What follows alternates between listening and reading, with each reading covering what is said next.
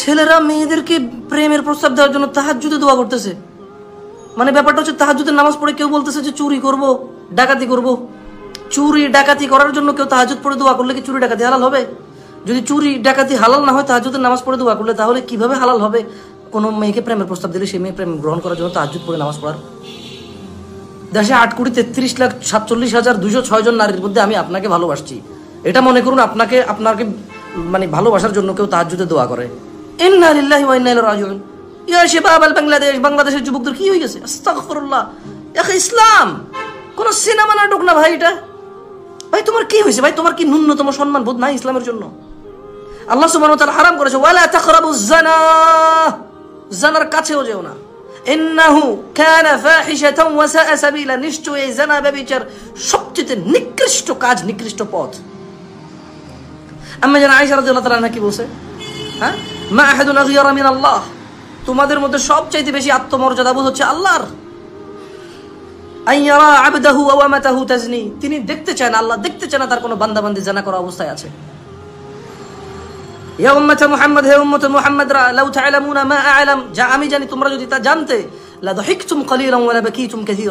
তোমরা অল্প বেশি ভাই, আমার কাউকে কারও ঘর চুরি করার জন্য তাহাজ্জুদ পড়ে দোয়া করা কি বৈধ?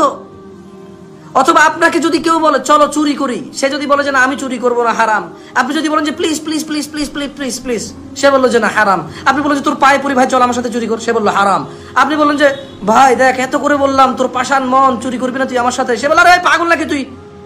চুরি করা হালা, হারাম। এভাবেই তো মেয়েদের পিছিয়ে আপনারা ঘোরেন, আর মেয়েরা যখন হারাম বলে এটাকে প্রত্যাখ্যান করে অথবা মেয়েরা ছেলেদের পিছিয়ে করে ছেলেরা হারাম বলে প্রত্যাখ্যান করলে বলে যে মন ভাঙা মসজিদ ভাঙার সমান, আল্লাহ বদোয়া দেবে, আমি কত আকতি মিনতি, তুমি অহংকারী। ইন্না লিল্লাহি ওয়া ইন্না ইলাইহি রাজিউন। ইসলামের কি ন্যূনতম জ্ঞানটুকু আমাদের থেকে চলে গেছে? ইসলামের জ্ঞান কি বিলুপ্ত হয়ে গেছে আমাদের থেকে? ওয়ালা তাকরাবুজ জানা। তোমরা জানার কাছে যেও না। কেমন কথা? আউযু বিল্লাহি মিনাশ শাইতানির রাজিম। চরিত্রহীন। এগুলো চরিত্রহীনতা।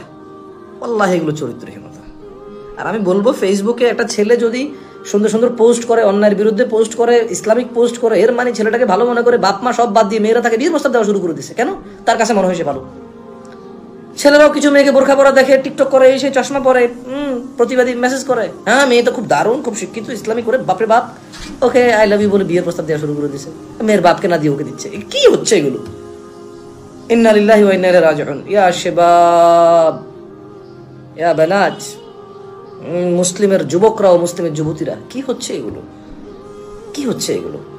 না না, সিনেমায় রেল লাইনের পাশে হাত ধরে হাঁটা মানুষটা ইজ নট ইউর আইডল তোমার আইডল হওয়া উচিত মোহাম্মদ সাল্লাহ সাল্লাম। হারাম ইজ হারাম, হালাল ইজ হারাম। যেটা আল্লাহ হারাম করেছে, সেটা হারাম, যেটা আল্লাহ হালাল করেছে, সেটা হালাল খাস